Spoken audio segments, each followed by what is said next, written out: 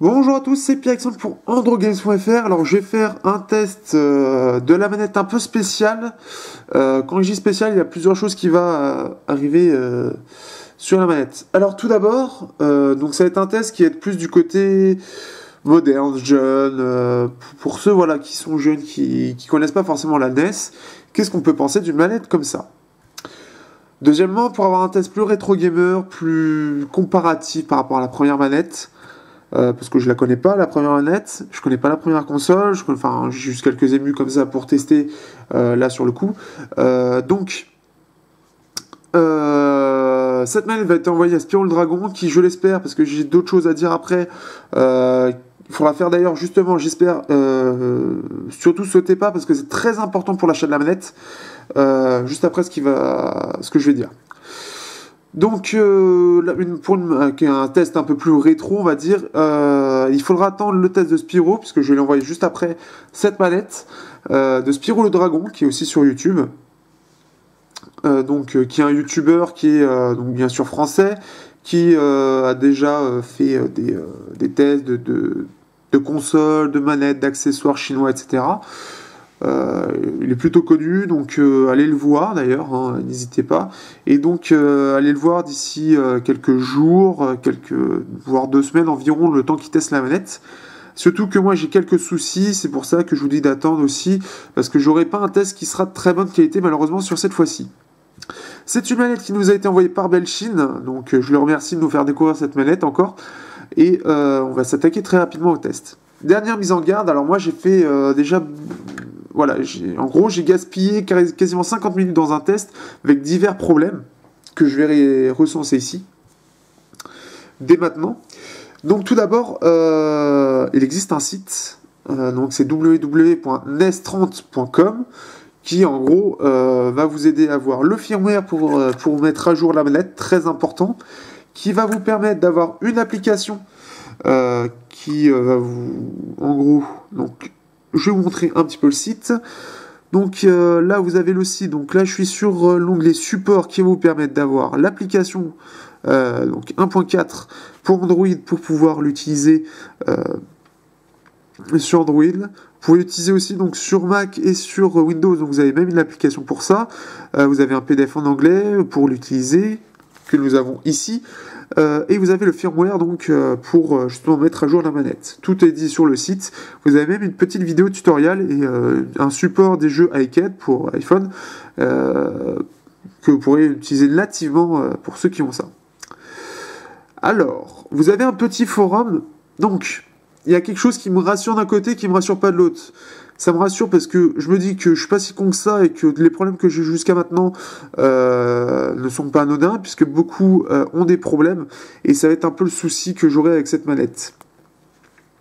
Tout d'abord, la, plupart du temps, la partie de test que j'ai fait, c'est avec euh, mon Xiaomi qui est avec un, un processeur Mediatek. Donc moi j'ai un processeur Mediatek MT, MT6592, mais sur le forum, en cherchant un peu, vu tous les problèmes que j'ai eu, euh, j'ai trouvé qu'il y avait un problème d'incompatibilité avec les processeurs MT6589, MT6582, MT6595. Ils n'ont pas nommé, mais je suis pas sûr, parce que ça se trouve c'est peut-être une erreur de leur part quand ils l'ont écrit, mais il est possible aussi que le MT6592, puisque c'est proche de 82-92, il y a peut-être une erreur de frappe, il est possible qu'il y ait aussi un souci avec ça. Donc ça va être compliqué, sachant que j'ai que des processeurs un peu particuliers euh, et pas des processeurs type Snapdragon sur moi. Euh, donc malheureusement, euh, j'ai pas envie de me prendre la tête aussi avec ça parce que je vous avoue que je me suis pas mal pris la tête avec ça. Mais en gros, déjà, je pars avec un mauvais. Enfin, il y a des bonnes choses et le problème c'est que derrière il y a des mauvaises choses. donc c'est un peu compliqué. Euh, les problèmes que j'ai rencontrés jusqu'à maintenant, ça a été des problèmes de pairage très très compliqués. Euh, c'est-à-dire que d'abord, je n'avais pas mis, à jour le firmware parce que je me dis que le firmware qui soit mis à jour, ce sera pour régler des petits bugs, tout ça, mais, en fait, ça réglait des gros bugs et surtout déjà de connexion. Donc déjà, mettez-le à jour si vous la prenez. Euh, deuxième chose, Euh, donc vous avez une application qui est là.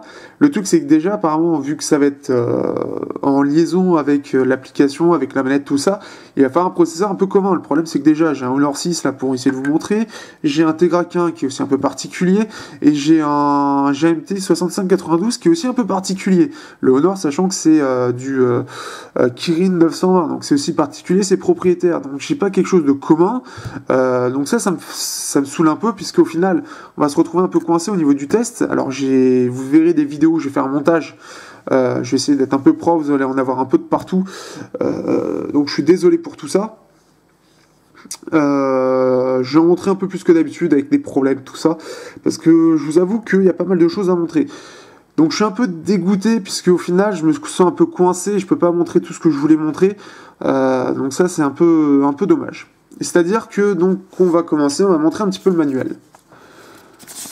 Donc, donc il nous remercie. Donc c'est normalement une manette euh, multi support en gros. Normalement vous pouvez l'utiliser sur iPhone, enfin sur tout ce qui est Apple, Windows et Android. Donc c'est très très large. Vous avez jusqu'à 5 modes pour l'utiliser. Le mode 1 joystick qui est utilisé pour Android et Windows, qui est le mode de base qui est recommandé. Vous avez le mode 2, donc Bluetooth Keyboard, qui, euh, donc ça, en fait, quand vous allez vouloir, le pairer, ça va clignoter, donc juste une petite LED. Là, ça va être deux LED, donc euh, des, cycles de 2 LED, des cycles de 3 LED, cycles de 4 LED. Donc pour pouvoir voir, si en fait, vous allez pouvoir voir ici si euh, ça, ça clignote correctement. Et donc sur quel mode vous êtes. Donc vous avez le mode iCAD, alors ça ce sera plus Apple et Android. Alors moi j'essaye sous Android, euh, ça n'a pas super bien marché au final, puisque sous Retroid euh, Netplay, euh, oui Retroid, non pas, RetroArch, qui est un émulateur multi multi-émulateur en gros. Euh, il y a un mode iCAD, mais il n'a pas détecté la manette en mode iCAD, donc malheureusement j'ai pas réussi à l'utiliser en mode iCAD, ce qui m'aurait permis de tout simplement jouer correctement. Euh, il a fallu que j'aille un peu plus loin, et ça je vous montrerai via un montage euh, après. Vous avez un mode 4 euh, EMU Touchscreen, donc Start plus X. Euh, donc là, c'est 4 LED. Donc il faut être route ou jailbreak. Alors, je suis route. J'ai essayé d'activer ce fameux mode, euh, mais j'ai pas réussi. Et apparemment, il n'y a pas beaucoup de monde qui en parle, donc ils n'ont pas dû essayer de l'utiliser sur le forum. Mais j'ai pas réussi à lancer ce fameux, ce fameux truc d'ailleurs. Donc normalement, on a normalement je suis censé avoir une interface un peu comme les Arcos, les, petites choses comme ça où on appuie sur un bouton pour euh, avoir en surbrillance, enfin par-dessus l'image, euh, les touches à placer. Mais j'ai pas réussi, après plusieurs tentatives, une bonne dizaine quand même, à essayer de justement de, mettre ça. Donc euh, c'est un peu dommage, puisque j'aurais bien aimé le montrer, ça pourrait pu être intéressant. Mais malheureusement, avec les problèmes que j'ai rencontrés, j'ai pas réussi à le, faire fonctionner. Euh, donc aussi, on peut jouer apparemment en donc à deux joueurs. Donc moi, j'ai qu'une j'ai qu'une manette, donc voilà. Euh, qu'est-ce que je peux vous dire d'autre? Donc vous avez bien sûr, ça, on peut aussi utiliser euh, sur la Wii, j'imagine, hein, puisqu'il parle de Wii Game. on peut le mettre en mode Wiimote. Donc ça c'est plutôt intéressant pour euh, ceux qui veulent jouer avec une petite manette. Bah, vous avez une petite Wiimote. Euh, enfin vous pouvez le mettre en mode Wiimote. Mais bon, je sais pas de Wii donc je peux pas vous montrer ça non plus. Donc ça commence à être un peu compliqué. Euh, voilà. Donc après, moi je suis surtout sur Android, donc je suis censé vous montrer sur Android. Malheureusement, comme je vous l'ai dit, bah, je suis un peu coincé. Donc euh, bah je vais vous montrer les différents montages euh, que j'ai fait et puis bah j'espère que ça vous ira. Malheureusement je peux pas vous montrer mieux que ça. J'espère que Spiro pourra vous en montrer plus. Euh, donc voilà. c'est à peu près tout ce que je peux vous dire. Je vous en ai dit beaucoup en 9 minutes. Mais j'ai rencontré, voilà, j'ai rencontré pas mal de soucis, ce qui fait que j'ai pu jouer en gros bah, au, jeu, que vous allez voir. Mais au final, j'en ai pas joué beaucoup parce que j'ai pas pu euh, jouer beaucoup de, choses. Donc c'était un peu dommage. Je suis désolé d'ailleurs même pour Belchine, je suis désolé de ne pas faire le, test comme prévu. Euh, bah, normalement tu vas être prévenu quand j'aurai sorti la vidéo, mais avant quand même. Donc euh, bah, je vous sors une vidéo qui, qui paraît un peu incomplète, qui paraît un peu fouillie. mais malheureusement bah, je suis un peu coincé et j'ai pas pu faire mieux que ça. Donc voilà, donc ça va être une, à mon avis une vidéo qui va durer environ une demi-heure en tout. Donc sur ces 10 minutes de discussion comme ça, à me dire, me lamenter que ça marche pas, bah, je vous envoie le, le montage. Petite chose supplémentaire euh, que j'aurais à dire avant d'y aller, n'hésitez pas à aller sur le forum avant euh, de NES, euh, donc c'est W, donc vous allez voir ici. Vous allez juste aller sur donc le, le site www.nes13.com qui vous aurez en fait un petit onglet forum auquel vous pourrez accéder et vous pourrez voir le forum. Donc ça va vous permettre euh, de soit vous poser vos questions, alors par contre ce sera en anglais, puisque c'est un peu international, c'est des Chinois, donc ils ne savent pas forcément parler français, euh, et de voir euh, les différents problèmes. Donc on peut voir qu'il y en a quand même beaucoup. On peut voir qu'il n'arrive pas à pérer. Il y, a, beaucoup de soucis de pérage déjà. Comme je vous l'ai dit, il y a les soucis de processeur. donc attention à cette manette qui, avec, de bonnes intentions, malheureusement, il y a trop de problèmes pour pouvoir réellement profiter, du moins sur mobile. Donc euh, voilà, juste dernière petite chose. Euh, et voilà. Je vous souhaite une bonne vidéo. Pour faire la configuration de la manette, il va falloir le faire vous-même, bien évidemment. Donc ça veut dire que euh, vous allez devoir donc d'aller dans donc vous allez devoir aller par exemple sur RetroArch. C'est quelque chose qui est bien RetroArch parce que ça englobe pas mal de de comment dire de d'émulateurs. Voilà, j'y arrive. Donc le truc qu'il y a à faire, donc malheureusement euh, en iCAD ça se, ça se voit pas, donc on va aller chercher donc Custom Binds qui vous permettent en gros euh, de mettre comme vous le voulez. Donc vous sélectionnez, vous faites Detect, vous choisissez, donc là gauche et OK. Et il faut faire ça à chaque fois. Donc d'ailleurs je me suis gouré.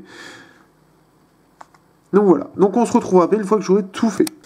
Petite chose intéressante euh, dans l'application euh, pour euh, donc la manette, donc la game app NES, il est possible, donc en se mettant en soft keyboard, de faire key mapping. Donc ça vous permet, donc vous voyez la configuration classique basique de la manette, et eh bien il est possible de la changer. Vous avez jusqu'à 10 configurations possibles, et donc vous pouvez faire vos propres configurations par exemple, donc ici malheureusement, comme pour l'instant en fait, c'est ça qui est compliqué, c'est que le Bluetooth ici n'a pas marché sur l'application, elle a marché sur le téléphone, donc ce qui fait que c'est pas repéré. Mais il est possible de faire ça. Donc on peut se mettre en mode gamepad, on peut se mettre en mode IME. Donc malheureusement IME, donc euh, on n'est pas sur. Voilà, on peut faire comme ça, voilà. Donc si on revient sur l'application, on va être en mode IME.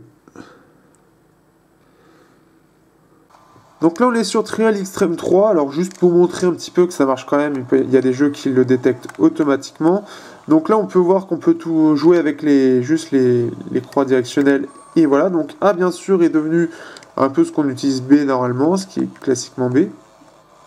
Donc on peut voir que c'est bien détecté, on peut même sauter. Et on a bien le frein aussi.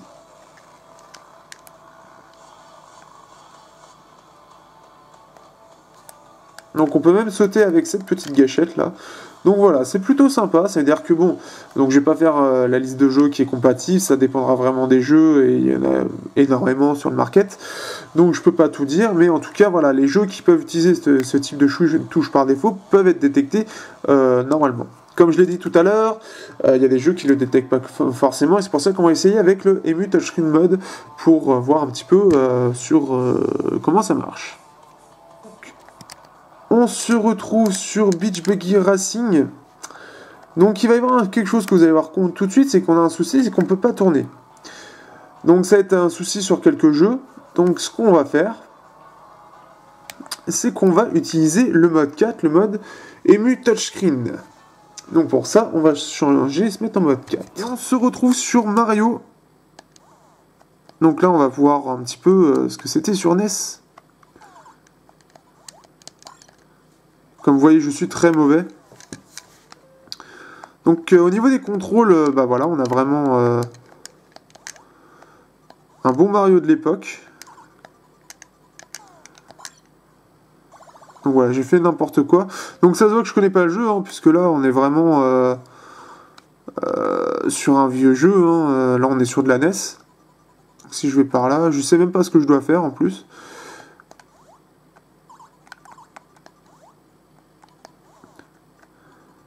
Ah mais oui, je me souviens. J'ai dû y jouer il y a longtemps. Enfin, je crois. Enfin voilà. Euh, donc là, on aura fait un petit jeu, on va essayer d'en faire un autre. Donc vous voyez, je suis très mauvais sur les jeux de l'époque puisque je ne comprends pas. Ce n'est pas assez euh, compliqué pour moi, c'est trop simple. Donc on va aller sur 1942. 1942, vous connaissez un petit peu, c'est encore des jeux qui sont d'ailleurs sur Android, hein. c'est un jeu qui se démode pas d'ailleurs sur... Euh, c'est assez impressionnant. Donc ça répond plutôt bien, comme vous pouvez le voir.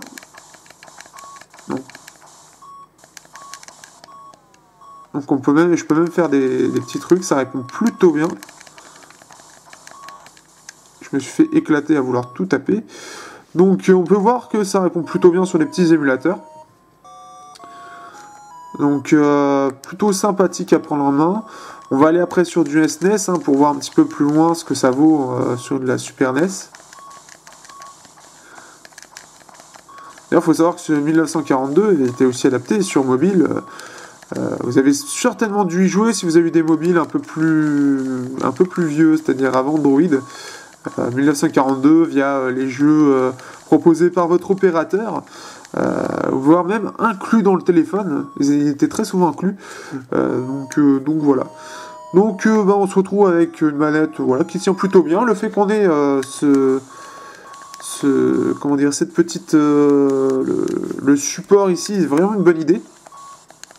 Et ce qui permet de, jouer chez soi ou, ou l'emmener euh, partout euh, assez simplement et d'avoir un petit support pour justement profiter quand même de l'écran de façon correcte. Donc ça c'est plutôt sympa, c'est intégré, ça prend pas de place puisque ça permet d'être sur la manette. donc ça se transporte facilement en plus de ça. Donc je vais faire une petite conclusion sur cette petite manette. pour moi tout n'est pas rose mais tout n'est pas noir non plus. Donc on va commencer un peu par les avantages, je vais faire assez simplement, puisque vous avez déjà vu un petit peu ce qu'il y avait. Donc comme vous avez vu, le, test est un petit peu léger, euh, puisque au final j'ai pas pu faire tout ce que je voulais et je voulais montrer un peu tout ce que pouvait faire la manette. Donc on a pu voir que bah, au niveau des avantages, voilà, on a quand même quelques jeux qui peut, euh, voilà, on peut par exemple via RetroArch, on peut euh, euh, donc euh, mapper la manette pour euh, ensuite jouer à tous les émus qu'on veut avec tout ce qu'il y a en une gâchette et ces quatre boutons et juste une croix directionnelle. Donc ça, ça peut aller. Mais ce qui est un peu dommage, c'est que normalement on a un mode iCAD. Et normalement, RetroArch permet de jouer avec ce mode iCAD. Et bah, il n'est pas détecté. Donc malheureusement, on a déjà ce genre de soucis. Aussi, donc vous avez vu dans la vidéo, je voulais vous montrer le mode 4. Euh, donc pour euh, l'EMU Touchscreen, donc qui est intégré à l'application. Donc on a pu voir un petit peu de l'application. Le souci, c'est qu'au final, j'ai pas réussi à l'activer avec les normalement euh, ces deux boutons là. On est censé avoir quelque chose qui apparaît. Le problème, c'est que ça n'a pas réussi à bien marcher. Donc c'est un peu problématique. Alors est-ce que ça vient de la surcouche que j'ai? Est-ce que euh, ça vient de. Est-ce que ça, vient de moi qui, fait quelque chose de mal ou je ne sais pas exactement? J'ai essayé plusieurs fois, j'ai essayé une bonne dizaine de fois et malheureusement ça n'a pas marché. Euh, on a quand même quelques jeux qui marchent correctement, donc très à l'extrême, donc c'est-à-dire que tous les jeux du style un peu simpliste devraient marcher à peu près correctement. Et ça, il faudrait tester à chaque fois parce que c'est pas sûr, puisque le fait que ce soit un peu inversé, ça peut perturber un peu euh, les jeux, etc. Bah, comme on peut le voir, RetroArch qui n'a pas réussi à le détecter correctement, qu'il a détecté comme un clavier, en fait, c'est ça le problème euh, à la base. Donc c'est pour ça qu'il a fallu que je fasse moi-même la configuration. Donc c'est un peu compliqué. Euh, donc en fait la manette devrait être beaucoup plus autonome que ça. C'est-à-dire toutes les manettes que j'ai eues jusqu'à maintenant, c'est pas sur la configuration que j'ai eu le plus de problèmes. C'est la première qui me pose autant de problèmes. Euh, donc, est-ce que c'est moi qui ai un peu trop assisté aujourd'hui ou est-ce que c'est la manette qui, de, et qui manque de compatibilité? Ce qui est un peu le cas puisque déjà elle n'est pas compatible avec la plupart des médiathèques, ce qui est un peu dommage puisque beaucoup des entrées de gamme, surtout chinois, sachant que bon ils font ça un peu en Chine, euh, c'est du médiathèque. Donc euh, bah c'est un peu dommage puisque au final comme j'ai fait la plupart de mon test, je les ai fait euh, sur mon Redmi Note et puis que même sur mon mon Honor j'ai eu des problèmes. Bah, malheureusement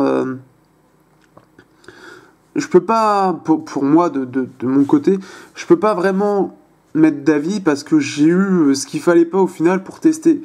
Euh, j'ai eu que des trucs particuliers pas très répandus, ce qui fait que la manette se comporte pas forcément comme il faut, enfin surtout l'application, le, côté software. Donc malheureusement, euh, je pense qu'il faudra attendre Spiro pour avoir un réel avis complet, qui pourra en dire plus que moi. Parce que je vous avoue que avoir autant de problèmes sur manette, enfin autant de problèmes, il y, a, des bons côtés, il n'y a, pas que des mauvais côtés. Mais le problème c'est que par rapport à ce qui est vendu, bah j'ai pas eu tout eu, j'ai pas pu tout faire ce que je voulais et malheureusement bah c'est problématique et ça me permet pas de voir euh, ce que je suis censé voir, ce que je suis censé pouvoir montrer et c'est un peu dommage. Donc en fait je peux la recommander pour ceux qui sont fans de ce type de manette pour le fait qu'elle soit très portable, le fait qu'elle soit pas très grosse non plus, euh, qu'elle respecte le côté original, et le fait qu'elle ait ce, petit cache, ce, petit support euh, tablette et smartphone qui est très simple, qui est hyper ingénieux, je trouve, puisque bah au final c'est une vulgaire coque en plastique euh, qui au final bah, permet de mettre justement son, son iPhone, tout ça. Donc ça c'est plutôt agréable. Le fait aussi que ce soit, euh, voilà, on peut, on peut jouer sur Windows, sur iPhone et sur Android, plutôt agréable.